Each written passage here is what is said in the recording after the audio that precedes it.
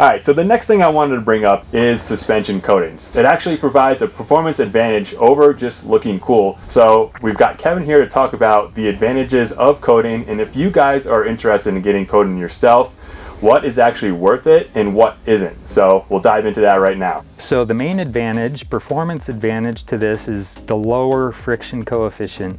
Um, like we were talking about before, uh, the biggest, one of the biggest things we try to address on suspension is reducing friction. If you reduce friction, you reduce heat, you kind of prolong the life of the internals. Uh, same theory behind uh, changing the oil and um, there are DLC coated components internally in uh, many of the engines um, for that reason. We really like the coloring. Um, you can get some of the, these more vibrant colors. Uh, they work really well uh, and they look amazing. The only downside here is the color is not going to be as durable as a pure black or a super DLC uh, finish. Um, you see, you know, the fancy uh, colorings, the blues, the turquoises on a lot of the factory bikes uh, which is great, but you also have to take into consideration that uh, many of the teams are, are uh, replacing these tubes after you know a race or a weekend or every couple weekends because through racing you do get blemishes, you get dings, um, and the color is not quite as durable as the black. Most of the time we are recommending doing the black uh, just for durability purposes. If the color wears through, it's purely aesthetic. Uh, usually the color will wear through and it'll show black underneath, which doesn't look great to have black splotches under the color. So this is a Kashima coated upper tube. We send these out to Japan. Uh, you can see the factory tube. It's got these machining lines. They do a full polish on the outside. This isn't necessary, this isn't a performance advantage on the outside, but it looks amazing. So th there is a big reason why all the, you know, a lot of the mountain bike manufacturers, uh, suspension companies, and even off-road trophy trucks have started getting more into Kashima coating, um, again, for just reducing temperature, reducing friction, and uh, it looks awesome.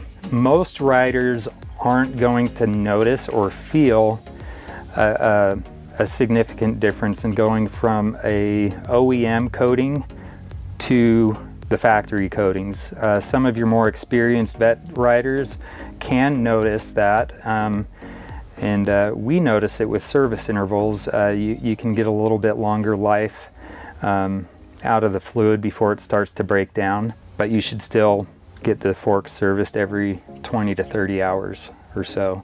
If you're more of an extreme off-road, you know, hard enduro type racer, I would not necessarily recommend this because they cost a lot of money and it makes it that much more uh, frustrating when you have a bad get off in the rocks and you dent a tube or ding a tube or scratch it and you feel like it's it's ruined. And we, we want to make sure that we set the expectations for the customers. It's great if you want to do the color, just know that uh, this can last many years if uh, if you don't if you're not a reckless rider and you're not crashing or riding in the mud or in the sand too much. Uh, but if you get if you get grit trapped in between your dust and oil seals, that can you know uh, cause some discoloration and and whatnot. But um, but yeah, that's uh, that's coatings.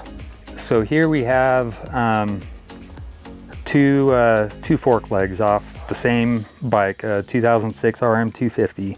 This is the factory fork. Uh, this is after we've done the coatings. Um, so we have the black DLC lower and the Kashima upper. Um, internally, the cartridges are the same cartridges. Um, However, we have revalved, um, you know, we have gold valves, um, you know, with settings specific to the rider. Uh, this is all just a factory fork. So we've also done the coating on the lower lug just to kind of complete the package there. SKF seals versus the OEM seals. This fork looks way better on your bike than this fork. Um, but if you scratch this fork, you're not going to be as upset as scratching this fork. Um, so just things that you have to take into consideration.